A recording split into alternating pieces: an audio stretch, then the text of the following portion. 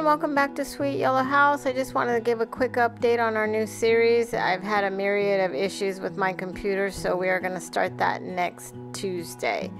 Project 1 is I still am not over this. I just loved it, so I wanted to make a couple of more to go around some vignettes in my home uh, for fall decorating. So I had these two small green planters. Um, and they don't have holes in them at the bottom so I really didn't want to use them for uh, fresh plants because I've tried that and they um, keep dying on me so I just decided to use them for something else. So just like last week um, I cut some slices out of this um, grapevine wreath and made sure that I filled those planters with some um, oasis and just um, inserting those branches on either side of that. And on one of them I crisscrossed and I made two. So one of them I did crisscross and then the other one I just put one over um, over top. So it's really that that simple just putting the branches over top to kind of make a globe shape. And then um, after I got those in place I used some of the uh, U picks uh, for uh, decorating, floral decorating, and held those in place in the moss. And then I used my glue gun to kind of cement those down in there. So once I got those where I wanted, I just started um, using my glue gun to uh, put the moss in place and just covered all the bottom so you couldn't see the oasis anymore. Um, then I just grabbed, uh, like before, just I just grabbed a bunch of florals from around. You don't need very many because these are kind of small, uh, so you could just use, you know, odds and ends of what you have, and that's basically what I did. I just kind of gathered um, little bits and pieces uh, from other projects and and um, decorated those. So this is how they turned out and I'm excited to kind of decorate um, these in other areas of my home that I don't maybe have a lot of space uh, to put big big stuff in. So moving on to project two. Um, this is my inspiration piece here. I had this two tier plate tray. Um, I don't even know how long I've had this. It's just been kind of floating around my house for years and years. Actually, that's the truth. So I just um, took it apart and thought, you know, I can kind of make something out of this. So I had some uh, thrifted uh, cake pans in three different sizes. So I took the bottom out because at some point it had gotten wet and was kind of like crusty and so I just decided to remove that. So I'm not really good at centering things so the way that I do it is I just make um, a template and then cut it out and then I, I fold it in half and then I fold it again in, in to make quarters and then I just uh, make a little snip at the tip. So, and then that makes it easy for me, and I just use it um, as a template. And so I made three um, different ones for the three different sizes that I had here, and I just then used that and I put it on the inside and just grabbed a marker um, and made sure that you know it fit in there nicely that way I could make sure that it was centered and used use my markers. So after I got those marked and um, I took them outside and I used my drill and I drilled some holes and here what I'm doing is I'm just um, seeing if everything fit if it's if it's coming together the way that I wanted it to. So now I'm gonna take it uh, back apart and I'm gonna take that outside and I'm gonna use my Behr um, matte black spray paint and I'm gonna spray paint those so. Once uh, those are drying and they I, I think I let them dry overnight but now I want to replace the bottom of that um, um, stand piece so I just cut a piece out of the foam and if you when you trace around it if you trace uh, and you kind of make an impression with that pencil then the um, the cutter just kind of follows that line a lot easier instead of fighting it. So it was really easy for me to go in and kind of cut with that box cutter because um, it just kind of fell in that groove. So now I'm just kind of cleaning the edges up there with a really um, coarse um, file. And I just fit that down in there um, to make sure that it fits snugly because I didn't glue it or anything I just pushed it down in there. So now I want to cover that so I just grab a piece of some I don't know what it like burlap and I think I took a piece out of this. Um, I grabbed um, a tablecloth that was made out of this uh, on sale at Hobby Lobby and stuff and you have been using it for bits and projects and stuff. So once I got that glued down and then I just cut around it to trim it right to the edge and then went back and just made sure that everything was glued down tight um, so that it wasn't going to come loose. So I just wanted to do that because it puts a finishing touch on it and doesn't you know scratch up your table or whatever you put it on. So now what I'm going to do is just put these all back together. And for some reason uh, I always try to put the wrong one on first but here I got it back and I'm just putting it together. So um, the top piece here I figured out was the hole was a little too big so I just grabbed a little washer and put a washer on top so that way it would um, fill that hole a little bit better. So I just um, got that all screwed down. It worked like a charm and I'm super happy with it. I, I think it came out great and I'm excited to um, decorate with this. Um, I think I'm I'm gonna do some my Halloween decorations with it because I think it looks great so um, just a reminder, we do have a Patreon account if y'all want to go over there and become a part of our Patreon family. And we have a lot of behind the scenes um, footage that you might be interested in. So, project number three is this is my inspiration piece, and this is what I'll say about that. That was my inspiration piece, but when I started in on the project, it, you know, it just evolved and it doesn't even look like that. So, so I know somebody's going to say, well, it doesn't even look like your inspiration piece. But you know, when you start a project, you intend on one thing and then it just goes completely left into something else. So, um, I grab my molds and um, just start making some molds to cover the outside of that frame and I'm looking uh, at this point I decided that I really wanted to kind of make uh, you know kind of embellish that frame uh, into something fallish. So I use this mold and I also use the um, acorns and stuff in the horse and hound molds. And I just went around the whole thing. It wasn't super embellished, but it was enough to give it a lot of character. So once I got it kind of where um, where I think I'm happy with the pieces I need to make, then I just start gluing those down and I just do that with my Titebond glue. It's you know you've everybody uses this glue. It's a really great glue. I'm I've never been disappointed with it at all. So I was super happy. Um, I've always been super happy with the way that it holds things into place. So so I get those glued down and I'm just doing this kind of um, this kind of arrangement on all four sides um, as you'll see and once I let those dry completely I take it outside and I spray paint that with my Behr matte black paint and um, let that dry overnight.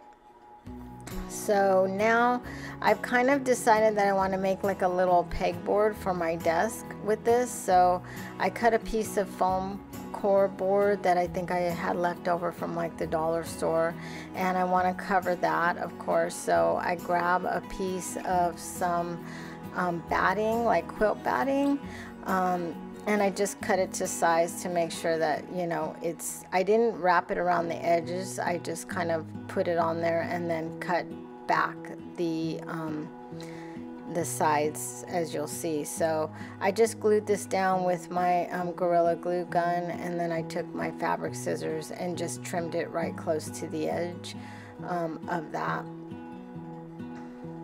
once I had that all trimmed down, I grabbed that same burlap tablecloth and I cut a piece out.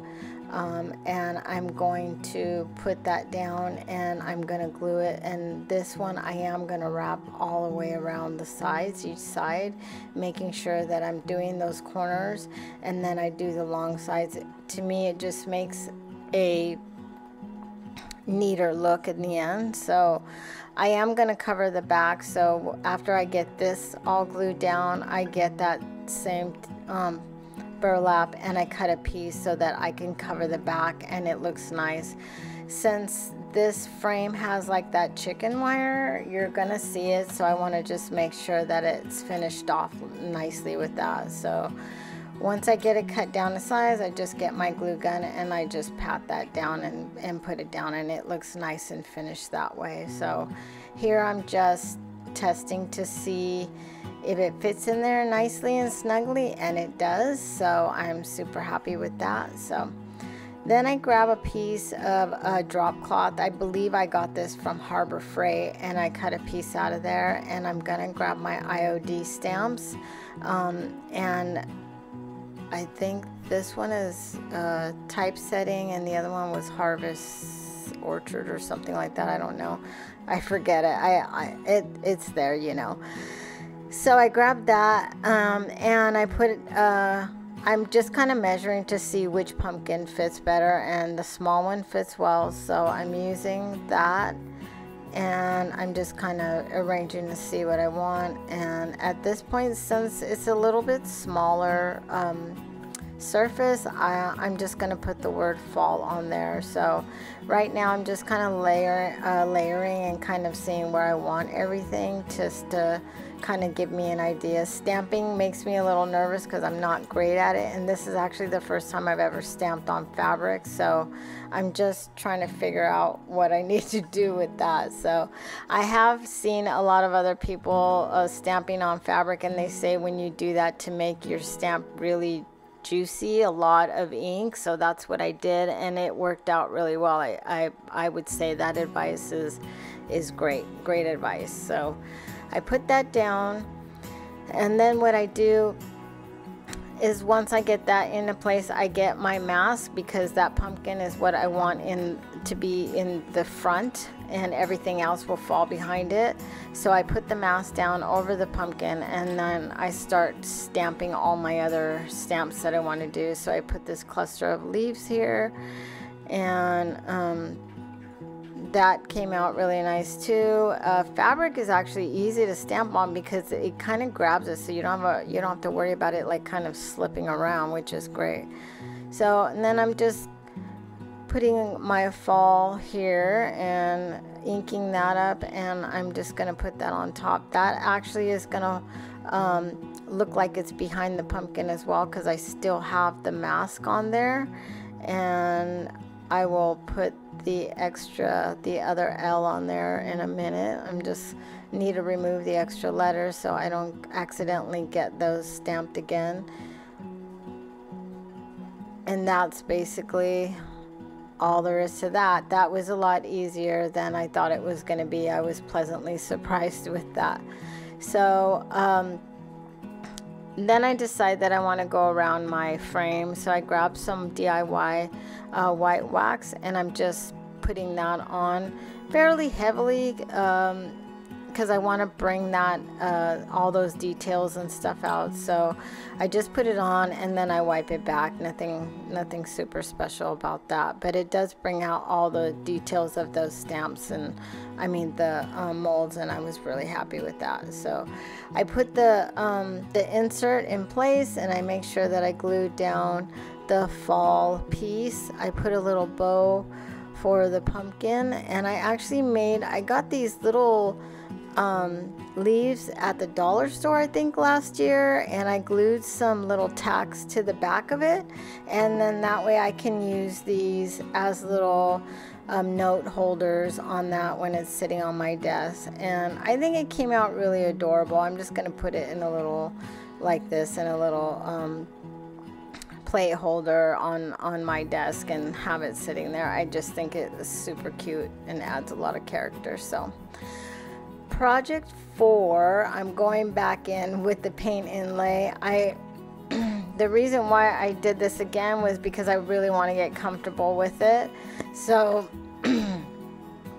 this actually was a piece that I had painted uh, several different colors and I, I've had it for a while and I've never really known what to do with it the front of it had uh, like engraved like recipes so I have like covered it with textured paint and this and that trying to get that out of there and for the most part it did so um, I was really happy with the way that the antique sign from last Friday came out and I just really wanted to try so I grabbed the same pieces that I used last week and um, I put uh, I used those on this project. So um, I put down the paint and put the inlays in and wetted it down and then I left it to dry. Um, and you want it to be completely dry. I'm you know I'm guessing that is the process for the paint kind of the inlay kind of adhering to the paint that's down there. So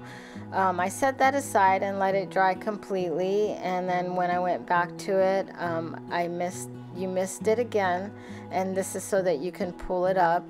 And if you have any resistance you can just mist it a little bit more and pull it up. So um, once I got all that up and I was happy with that, I got my big top. And just like last week, I had my little spray bottle and I um, in my spray bottle I put half big top and half water.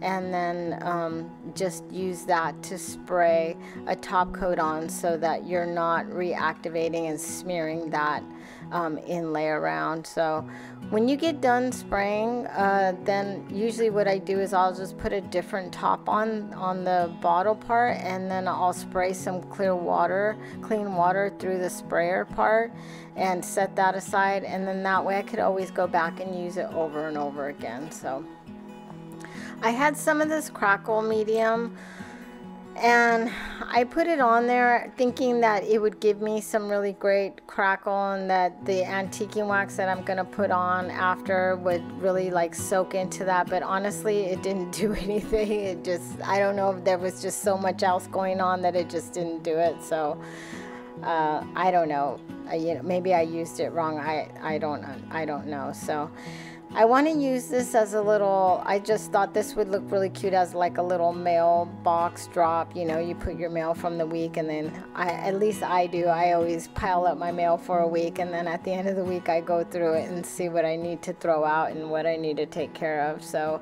um, I thought uh, I'll just put this as a little mail catch. So I used my IOD stamps and I put the word mail on here.